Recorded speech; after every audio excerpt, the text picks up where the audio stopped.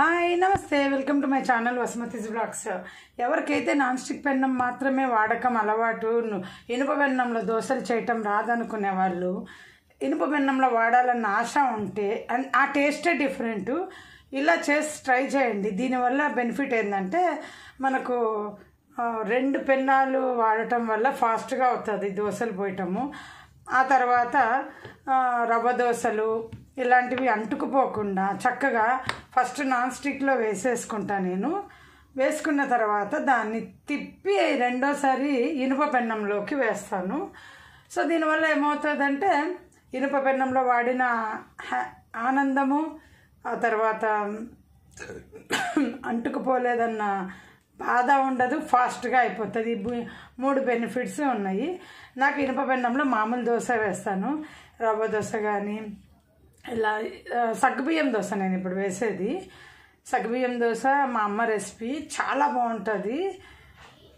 ఇది కొంచెం అంటుకుపోతుంది అన్నమాట దీనికి కొంచెం పెరుగు వేయాలి బట్ నేను మా పెద్ద పాప కోసం పెరుగు లేకుండానే వేస్తున్నా. అయినా చాలా టేస్టీగా ఉంటుంది. దీని మెజర్మెంట్ వచ్చేసి ఒకటి సగ్గుబియ్యము ఒకటి రెండు బియ్యం పిండి. రాత్రే తడిపి పెట్టేసుకోవాలి. పెరుగు మీకు ఇష్టమైతే కొంచెం వేసుకోండి. మెజర్మెంట్ అక్కర్లా. పెరుగు లేకుండా కానీ సూపర్గా ఉంది. పొద్దున ఒకటి మైదా వేసి కలుపుకొని పోసుకోవాలి. చాలా చాలా టేస్టీగా ఉంటుంది. ఉప్పు ఒకటే వేసుకోవాలి. ఎవరైనా ట్రై చేయండి. ఈసారి నేను చేసిన ఎప్పుడైనా ఓపిక ఉన్నప్పుడు కలిపేది కూడా చూపిస్తాను. చాలా బాగుంటుంది. సమ్మర్ కదా. సగ్గుబియ్యం చలువ కదా. సో చాలా చాలా టేస్టీగా ఉంటుంది. దీనికి ఇట్లా రవ్వ దోశలకు అయితే నాన్ స్టిక్ పెన్నం ఇలా ఉన్నాయి బాగుంటాయి. ఇది నాది నాన్ స్టిక్ పెన్నం కాదండి. ఏఎంసీలో నేను మా ఫ్రెండ్ దగ్గర తీసుకున్నాను అనమాట two thousand four thou two thousand eight hundred ఎంతో అనుకుంటా. మేడ్ ఇన్ ఇటాలీది అనమాట ఇది. సో బాగుంటుందని. ఇంకా మీకు మా ఇల్లు ఖాళీ అయినాక చూపిస్తాను అన్న కదా. చూడండి మా చిన్నది వీడియో షూట్ చేసుకొచ్చింది. మేము ఖాళీ చేసినప్పుడు ఇలా ఉంది. మా లక్ ఏంటంటే మా ఓనర్ మా నుండి ఒక్క రూపాయి కూడా తీసుకోలేదు. అడ్వాన్స్ డబ్బులు టూ మంత్స్ మేము కట్టలేదు అంతే చెప్పినాము. ఇంత నీట్గా మెయింటైన్ చేసాం చూడండి. అదే బెంగళూరులో అంటే వన్ మంత్ రెంట్ అడుగుతారు. తర్వాత ఎక్స్ట్రాస్ అన్నీ మీరు గలీజ్ చేస్తారని చెప్పాను ఇదివరకు మీకు. యాభై వేలు తీసుకున్నారని.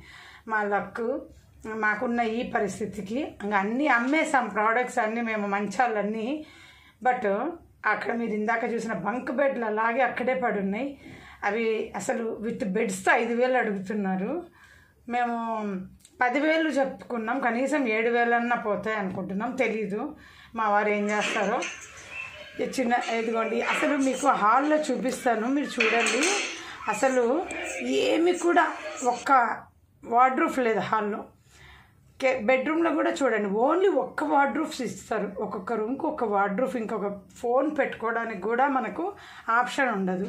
ఇక్కడ ఢిల్లీలో ఇంకా ఎక్కువ ఏంటంటే వాళ్ళు సోప్ బాక్సులతో సహా అన్నీ మనమే ఫిట్ చేసుకోవాలి.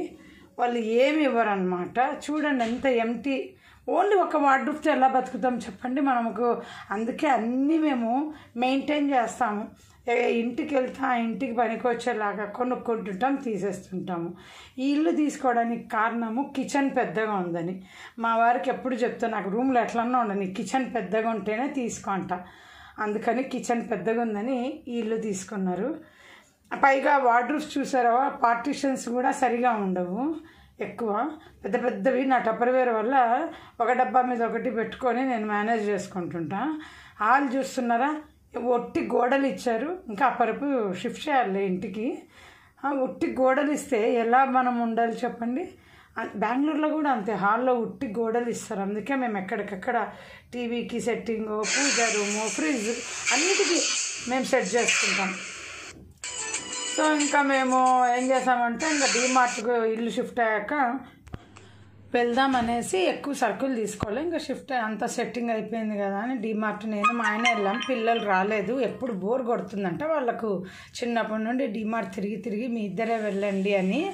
ఇంకా వాళ్ళకి ఏం కావాలో ఫోన్ చేయటం అడగటం కొనుక్కోవటం అనమాట ఇంకా ఎప్పుడు డీమార్ట్ డే టైం వెళ్ళే వాళ్ళం. ఇప్పుడు ఈ కొత్త ఆఫీస్ వల్ల మాకు సాటర్డే కూడా వర్కింగ్ ఉండటం వల్ల మా వారు వన్ అవర్ పర్మిషన్ ఇప్పించుకొని వచ్చారు.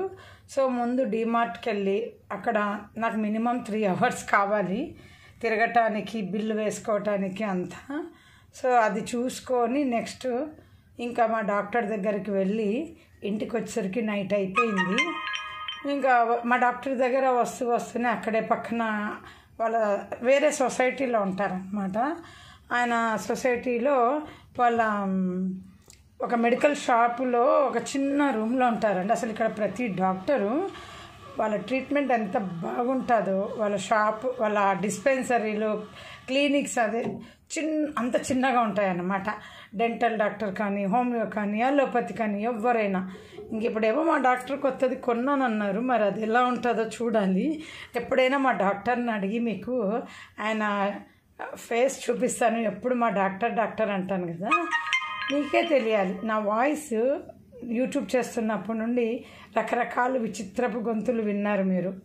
మొన్న మా పాప అంటుంది సడన్గా అమ్మ భలే బాగైపోయిందమ్మా నీ వాయిస్ లేకుంటే ఇరిటేషన్ ఉండేది నాకు. అంటే నీకే కాదు నా వాయిస్ వినుకుంటుంటే నాకే ఇరిటేషన్ ఉండేది. అని అన్నా. ఈ డస్ట్కి ఇంత షిఫ్ట్ అయినప్పుడు ఎంత డస్ట్ అంటే మాకు అంత డస్ట్ ఇంకా.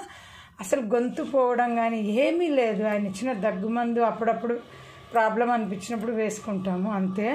ఇక్కడ చూడండి నర్సరీలు ఎన్ని పెట్టి ఉంటారో అసలు. నాకేమో టెంప్ట్ అన్ని మొక్కలు కొనుక్కొచ్చుకోవాలని ఇప్పటికే చాలా వేస్ట్ చేసుకున్నాను మనీ అనేసి. ఇంకా వాటి జోలికి పోవట్లేదు. ఫ్యూచర్ చూడాలి. బట్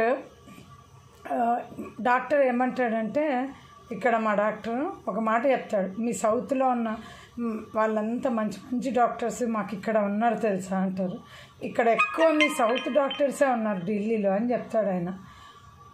కానీ నాకు ఇక్కడ వాళ్ళు ఇచ్చిన మందులు మాత్రం సూపర్. నాకు చిన్నప్పటి నుండి ఉన్న ఈ గొంతు ప్రాబ్లము ఎంతమంది హోమియో డాక్టర్ల కాడ వెళ్ళినప్పుడు అడిగితే తక్కువ మాట్లాడు అన్నారే తప్ప దానికి ట్రీట్మెంట్ ఉందని నాకు ఇవ్వలేదు. సో ఈ మూడేళ్ళలో నేను ఫుల్ హ్యాపీ చాలా చాలా జబ్బులు అసలు క్లియర్ చేశారండి. ఈ మధ్య కాలంలో ఎక్కడా హోమియో డాక్టర్ కాడికి వెళ్ళినా కానీ ఏ జబ్బు ఉందంటే దానికి మాత్రమే ట్రీట్మెంట్ ఇచ్చి పంపిస్తున్నారు. ఇదివరకు మనుషులైతే అన్ని పాత జబ్బులకు ట్రీట్మెంట్ ఇచ్చేవాళ్ళు. సో మొన్న కూడా వెళ్ళి డాక్టర్కి ఒక పాయింట్ అడిగాను. నేను మాట్లాడేటప్పుడు ఆ కరెక్ట్ వర్డ్ చెప్పాలనుకుంటే ఆ ప్లేస్లో వేరేది వెళ్ళిపోతుంది రాంగ్ పడిపోతుంది అని. మీరు మొన్న గమనించి ఉండాల్సింది. ఏది అప్పడాలు ఫ్రై చేస్తూ ఒక వీడియో పెట్టాను. అందులో పంజాబీ అప్పడాలని చెప్పబోయి రాజస్థాన్ అప్పడాలని చెప్పాను. అంటే చూస్తున్నా కానీ నాకు అది చదివేటప్పుడు రాంగ్ పడుతుంది. వర్డ్ సెంటెన్స్ కాదు వర్డ్స్ రాంగ్ పడిపోతున్నాయి రేట్స్ రాంగ్ పడుతున్నాయని చెప్పి చెప్పాను. దానికి ట్రీట్మెంట్ ఇచ్చాడు. చూడాలి ఫ్యూచర్లో దానికి ఎట్లా ఉంటుంది అనేది. సో ఇంకా డిమార్ట్ నుండి సరుకులన్నీ తెచ్చేసుకున్నాము. మేము డాక్టర్ కాడికి చూడండి చీకటి పడిపోయింది. డాక్టర్ దగ్గరికి వెళ్ళేసరికి ఫోన్ చేస్తాము. ఎంతమందిని పంపించామండి మేము అసలు మా డాక్టర్ దగ్గరికి? కనీసం ఒక మా తరపున ఒక పది మంది పోయి ఉంటారండి. పది ఫ్యామిలీస్. అట్లనే మాకేం తక్కువేమి తీసుకోరు.